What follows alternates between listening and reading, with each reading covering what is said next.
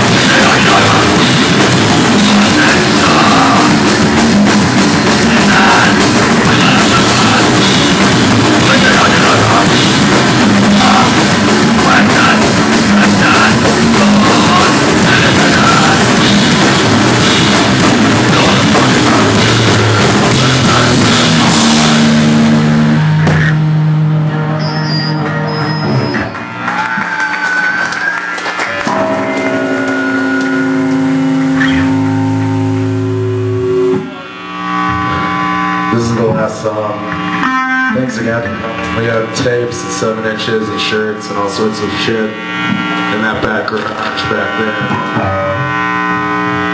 Get some.